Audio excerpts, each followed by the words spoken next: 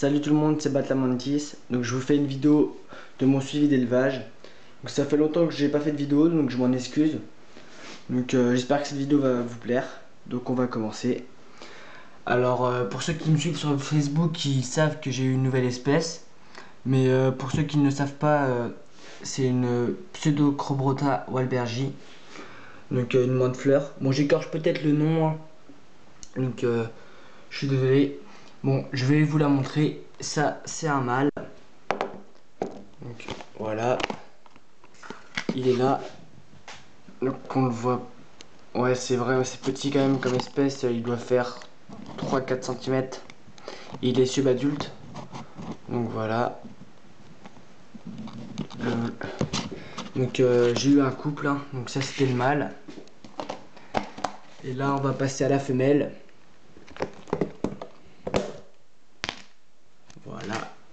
Elle est camouflée.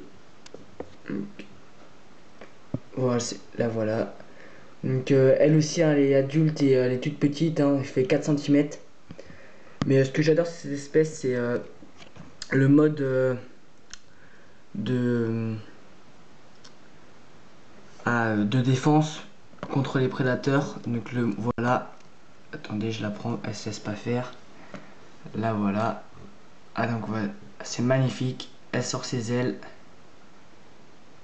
Ah, c'est pas très très net. Bon voilà, on dirait vraiment un papillon. C'est magnifique. Donc je vais la laisser tranquille. Voilà, remonte sur ta branche. Donc euh, sinon, des nouvelles de Liminopus coronatus, donc elle va bien. Donc euh, je vais peut-être avoir un mâle euh, par mat reptile donc euh, s'il arrive à me l'envoyer, alors franchement un grand merci. Parce que ça ferait super plaisir de continuer cette espèce, elle est vraiment magnifique. Bon, je vais peut-être ouvrir la boîte parce que là on voit pas énorme. Donc là voilà. Elle est d'une bonne taille. Hein. Donc euh, voilà le reste de ses repas. Bon des papillons, c'est vrai que c'est pas ce qu'il y a de mieux. Et bon, je trouvais rien en ce moment, donc voilà.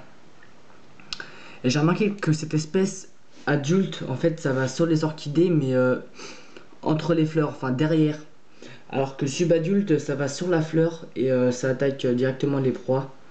Donc, euh, sinon, on peut voir le changement de couleur au bout des pattes qui est un peu rose. Donc, parce qu'elle avait pris la couleur de mon orchidée. Donc voilà. Sinon, on va passer au Philocrania paradoxa. Donc, euh, fait, le mâle est toujours sur la femelle, mais il s'accouple pas. Enfin, il n'y a pas de pénétration. Donc, du coup, euh, va falloir que j'attende et être patient. Donc, euh, pour ceux qui voudront des euh, bébés, enfin, je referai une vidéo quand j'en aurai. Et puis, je dirai mes dispos. Parce qu'en ce moment, bah, je sais pas, ils ont pas trop l'air de vouloir s'accoupler, faire des zootech. Mais Franchement, ne me demandez pas, vous inquiétez pas, je vais faire une vidéo là-dessus. Et après, euh, bah, je vous dirai comment faire pour avoir des petits. Mais voilà, ça sert à rien de me demander. Ah bah, le voilà qui essaye. Ouais, ouais c'est vrai que c'est pas net hein, à travers du... Ouais, là c'est guère mieux, ils sont au fond. Bon voilà. Sinon, je voulais vous montrer euh, les espèces que j'avais élevées. Donc euh, j'ai déjà élevé de Daphylocrania, de la Popas purca. Donc euh, ici celle-là. Voilà, c'est une main de bâton. Alors celle-là je l'ai j'avais qu'une femelle donc euh, voilà. Et sinon de l'Ampusa penata. Voilà. Bon je les ai plus en élevage, hein. j'ai perdu ces espèces, sauf la Philocrania et paradoxa que j'ai là. Sinon ma mantis religiosa elle est morte.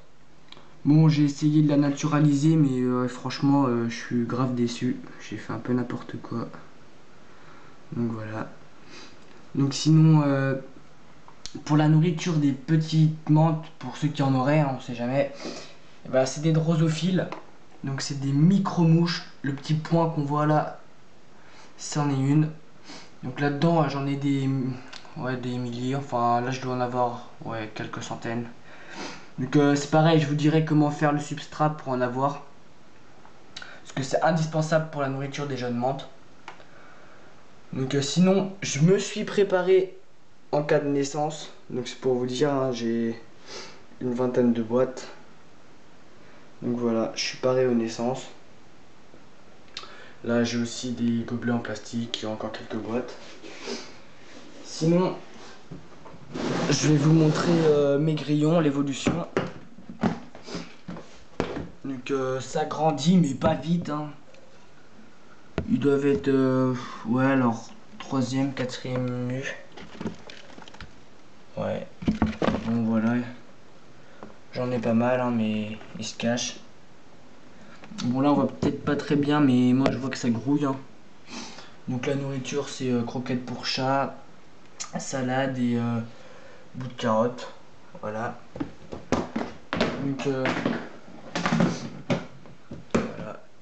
Et sinon, ça, c'est un livre que j'ai acheté, mais il y a assez longtemps, donc je sais pas s'ils en vendent encore.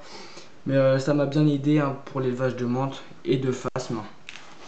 Donc euh, voilà, j'ai quelques fiches d'élevage hein, sur les menthes et sur les phasmes.